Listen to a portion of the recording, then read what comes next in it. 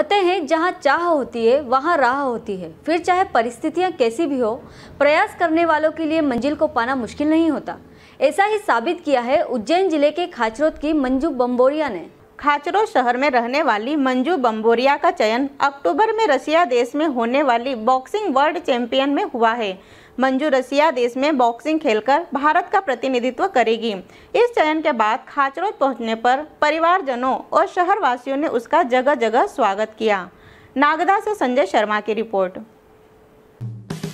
Hello friends आप देख रहे हैं हमारा channel S W twenty four news हमारे सारे वीडियो सबसे पहले देखने के लिए आप हमारे चैनल को सब्सक्राइब करें और पास में लगे बेल आइकोन को दबाना बिल्कुल भी ना भूलें।